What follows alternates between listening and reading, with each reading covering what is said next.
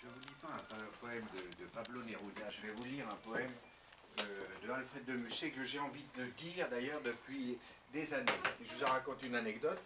Euh, quand j'étais au cours, chez Jean-Laurent Cochet, euh, j'avais le privilège d'être au cours avec un, individu qu'on appelait Lalard, Gérard, qui était Depardieu, monsieur Depardieu. Et la première fois que j'ai entendu ce poème, c'est euh, ce gros bœuf de Gérard Depardieu, d'une inculture absolument prodigieuse, qui m'a fait découvrir avec un cœur, une poésie, des, vers très simples d'Alfred de Musset. Il m'avait dit, il m'avait dit euh, tu sais qui c'est toi, Alfred de Musset? Euh, Est-ce que tu penses qu'on pourrait le rencontrer? Et sa sensibilité de, vraiment d'être très primaire. Hein. Sa sensibilité à la poésie allait jusqu'à euh, découvrir euh, quelque chose qui était normalement hors de sa portée. Et donc je me suis toujours souvenu de la gourmandise avec laquelle il disait ce poème. Je ne l'ai jamais lu en public. Donc euh, bon, bah, je, vais, je, vais, essayer de vous faire profiter de ce que j'ai compris de cette époque-là. Ça s'appelle Aninon. Je vais me mettre debout, je serai bien. Si je vous le disais pourtant que je vous aime, qui sait, brune aux yeux bleus, ce que vous en diriez? L'amour, vous le savez, cause une peine extrême.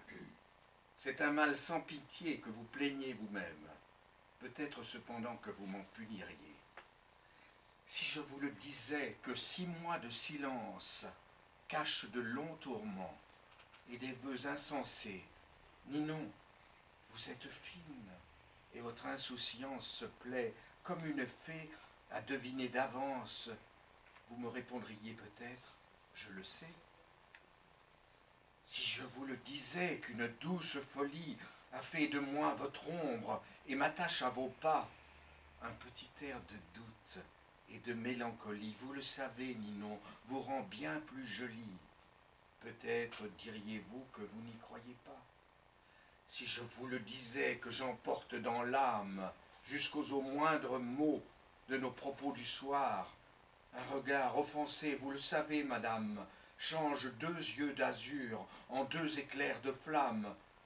Vous me défendriez peut-être de vous voir.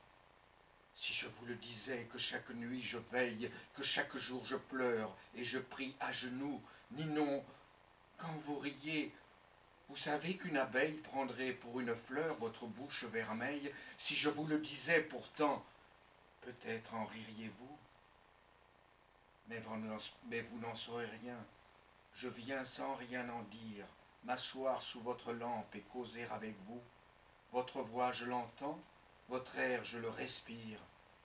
Et vous pouvez douter, deviner et sourire, vos yeux ne verront pas de quoi m'être moins doux je récolte en secret des fleurs mystérieuses.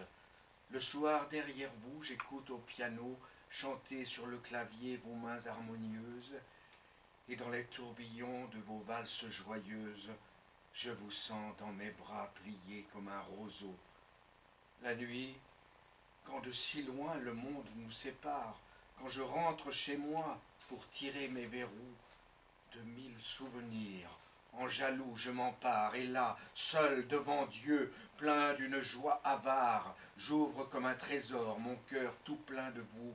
J'aime, et je sais répondre avec indifférence. J'aime, et rien ne le dit. J'aime, et seul je le sais, et mon secret m'est cher, et chère ma souffrance.